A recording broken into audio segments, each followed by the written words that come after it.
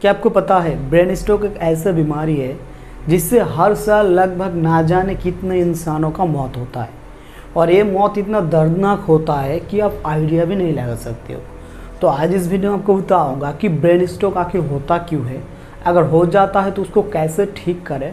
And कुछ symptoms बताऊँगा जिसके ज़रिए आप पता लगा सकते हो कि ब्रेन स्ट्रोक आपको है या नहीं है। अगर होता है तो आपको क्या करना चाहिए? सब कुछ मैं आपको इन डिटेल में इस वीडियो में बताऊँगा। तो वीडियो को पूरा एट द एंड तक ज़रूर देखो। एंड हाँ अगर आप चैनल पर नए हैं तो चैनल को सब्सक्राइब भी कर सकते हो। आप सभी को पता है कि ब्रेन में हमेशा ब्लड फ्लो होता रहता है एंड इस ब्लड के ज़रिए ही ऑक्सीजन एंड न्यूट्रिशन ब्रेन में पहुँचता है। लेकिन किसी भी वजह से अगर ब्रेन में ब्लड का सप्लाई नहीं होता है तो जो ऑक्सीजन जो न्यूट्रिशन का ज़रूरत होता है ब्रेन में, वो नहीं पहुँच पाता है। और इस वजह से जो ब्रेन सेल्स होता है वो एक मिनट के अंदर ही मरना स्टार्ट कर देता है। मतलब जो ब्रेन सेल्स होता है ना, वो डैमेज होता रहता है, जब उसको न्यूट्रिशन ऑक्सीजन नहीं मिल पाता है। एंड इस कंडीशन को कहा जाता है brain stroke brain stroke means brain में ब्लड का फ्लो रुक जाना एंड इस वजह से जो न्यूट्रिशन जो ऑक्सीजन होता है, वो सही से नहीं पहुँच पाता है ब्रेन में एंड ब्रेन में स्ट्रोक होता है। एंड इस टाइम बहुत ही ज़्यादा इंपॉर्टेंट हो जाता है जो पेशेंट होता है मतलब जिसको ब्रेन स्ट्रोक हुआ है, उसको मेडिकल ट्रीटमेंट एंड उस टाइम आप कुछ कर सकते हो, जिसके ज़रिए आप वो जो ब्रेन स्ट्रोक का पेशेंट है, उसको बचा सकते हो. मैं आपको बताऊँगा वो वीडियो के आखिर में. तो ये जो ब्रेन स्ट्रोक होता है, इसका कुछ सिम्टम्स होता है. मतलब कुछ सिम्टम्स के ज़रिए आप ये पता लगा सकते हो कि ब्रेन स्ट्रोक इसको होगा या नहीं होगा या है. सबसे पहले आपको ये बात ध्यान रखना होगा कि अगर कोई पेशेंट ऑलरेडी उसको ब्रेन स्ट्रोक एक बार या दो बार हुआ है तो तो बहुत ही ज़्यादा खतरे में है। मतलब उसको ज़्यादा एटेंशन देने की ज़रूरत है कि उसको ब्रेन स्ट्रोक ना हो। नंबर वन सिम्टम्स अगर किसी भी इंसान का सुनने में प्रॉब्लम हो रहा है या बोलने में प्रॉब्लम होता है मतलब मान लीजिए आप किसी के साथ बात कर रहे हो और आप ठीक से बात नहीं कर पा रहे हो आपका जो बीच बीच में ज़ुबान अटक रहा है। ज़ुबान अटक रहा है मीन्स आप जो बोलना चाहते हो ना, वो नहीं बोल पाते हो। जो दूसरे इंसान आपको कहते हैं, आप वो ठीक से सुन नहीं पाते हो तो उस कंडीशन में क्या हो जाता है? आपका ब्रेन में बहुत ही ज़्यादा प्रेशर क्रिएट होता है एंड सम टाइम आपको कन्फ्यूज़न भी हो जाता है। तो उस टाइम बहुत ही ज़्यादा खतरा बन जाता है ब्रेन स्ट्रोक का, क्योंकि आपका ब्रेन ही आपका बॉडी को कंट्रोल करता है। सभी का बॉडी को ब्रेन ही कंट्रोल करता है मेनली एंड ये जो ब्रेन होता है, वो ही आपका थिंकिंग को भी कंट्रोल करेगा। आप क्या बोलोगे, आप क्या सुनोगे, वो भी कंट्रोल करेगा।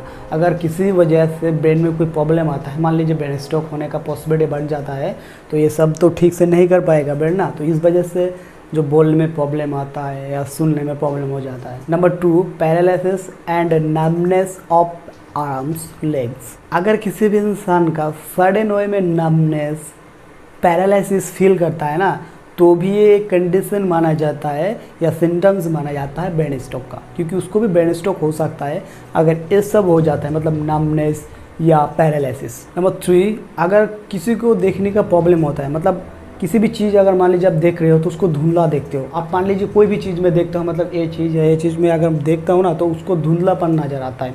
अगर आप ये वीडियो देख रहे हो ठीक से तो आपको तो क्लियर सब कुछ दिखाई देगा, लेकिन जो ब्रेन स्ट्रोक सिम्टम्स होता है, उसमें वो इंसान क्या करेगा, वो ठीक से देख ही नहीं पाएगा। मतलब जो क्लियर विजन होता है किसी भी चीज़ का देखने का वो नहीं होता है। तो इस वजह से भी ये जो ब्रेन स्ट्रोक का सिम्टम्स माना गया है, अगर ठीक से कोई इंसान को दिखाई नहीं देता है। वो तो अलग बात है कि देखने का प्रॉब्लम होता है तो आँखों का प्रॉब्लम होता है या जो डॉक्टर होता है वो चश्मा या कुछ अलग मतलब सजेस्ट करता है। आइज़ का भी बहुत तरह का प्रॉब्लम होता है, वो अलग बात है। लेकिन अगर सडन वे में मतलब आप मान लीजिए कोई चीज़ कर रहे हो और आपको सडन वे में धुंधलापन नज़र आ जाता है, कोई चीज़ आपको ठीक से दिखाई नहीं देता है सडन में, तब ये कंसिडर किया जाता है ब्रेन स्ट्रोक का एक सिम्टम्स नंबर फोर हेडेक ये तो सबसे ज़्यादा कॉमन बात है। मतलब अगर आपको हेडेक रहता है, बहुत ही ज़्यादा मान लीजिए तो भी एक सिम्टम्स होता है ब्रेन स्ट्रोक का। क्योंकि जब ब्रेन स्ट्रोक होगा ना तो आपका ब्रेन इतना ज़्यादा हेडेक करेगा कि मान लीजिए आपका ब्रेन फट भी जा सकता है, आपको ऐसा फील होगा। मतलब इतना ख़तरनाक हेडेक तो इस वजह से हेडेक अगर होता है वैसे तो हेडेक कॉमन होता है, वो अलग बात है, लेकिन ये जो हेडेक है ना, उसका पैसा झेल ही नहीं पाओगे। मतलब इतना ज़्यादा सर फटना जैसा हेडेक होगा तो भी एक सिम्टम्स है। अगर आपको चलने में प्रॉब्लम होता है, या आप कोई काम कर रहे हो तो उसका आपका बैलेंस बिगड़ जाता है, या आप कोई चीज़ कर रहे हो ड्राइविंग कर रहे हो, मान लीजिए जब साइकिल चला रहे हो एंड उस टाइम आपका जो बैलेंस होता है, वो बिगड़ जाता है तो भी एक सिम्टम्स होता है ब्रेन स्ट्रोक का। ना इसका क्या रिस्क फैक्टर होता है? मतलब किसको सबसे ज़्यादा प्रॉब्लम या ख़तरा रहता है? ये ब्रेन स्ट्रोक का। नंबर वन जिसका भी हाई ब्लड प्रेशर है, ये सबसे ज़्यादा इंपॉर्टेंट पॉइंट है, क्योंकि जिस इंसान का हाई ब्लड प्रेशर है, उसका ब्रेन स्ट्रोक होने का पॉसिबिलिटी बहुत ज़्यादा बन जाता है। जिस वजह से हाई ब्लड प्रेशर को कंट्रोल करो, जिससे आपको भी ब्रेन स्ट्रोक ना हो। नंबर टू हार्ट डिज़ीज़ जिस इंसान का हार्ट डिज़ीज़ रहता है लीजिए जब कुछ दिन के अंदर अंदर हार्ट डिज़ीज़ हो जाता है हार्ट स्ट्रोक भी हो चुका है, या हार्ट का बीमारी लगा रहता है तो उसको भी बहुत ज़्यादा ख़तरा बन जाता है।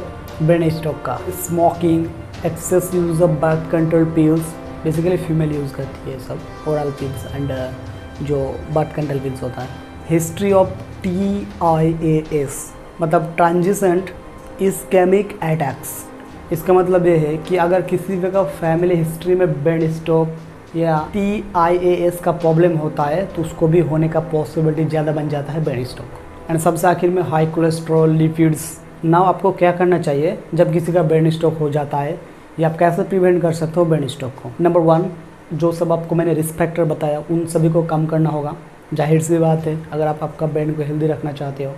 नंबर टू किसी भी तरह का सिचुएशन या अगर वो सिम्टम्स जो आपके सामने में डिस्कस किए अभी, अगर देखा जाता है किसी भी इंसान के बीच में या किसी भी इंसान के अंदर तो तुरंत आपको किसी भी वेरीफाइड फिजिशियन से कंसल्ट करना होगा एंड ब्रेन का जो स्पेशलिस्ट होता है उसको दिखाना पड़ेगा। इससे वो आपको ट्रीटमेंट करके या कुछ एग्जामाइन करके बता देगा कि आपका ब्रेन हेल्दी है या नहीं है। तो ये था मेरा छोटा सा जानकारी ब्रेन स्टॉक से रिलेटेड अगर मेरे ये छोटा सा वीडियो आपको पसंद आए तो प्लीज़ चैनल को सब्सक्राइब कर दीजिए वीडियो को लाइक कर दीजिए, क्योंकि इस तरह के इंटरेस्टिंग ऑथेंटिक वीडियो सिर्फ़ आपको मिस्टर हेल्थ चैनल पे ही मिलेगा। तो please please mister health channel को सब्सक्राइब कर लीजिए। एंड कोई भी क्वेश्चन क्वेरीज डाउट अगर आपको इस वीडियो से रिलेटेड रहता है तो मुझे ज़रूर आप कमेंट कीजिए।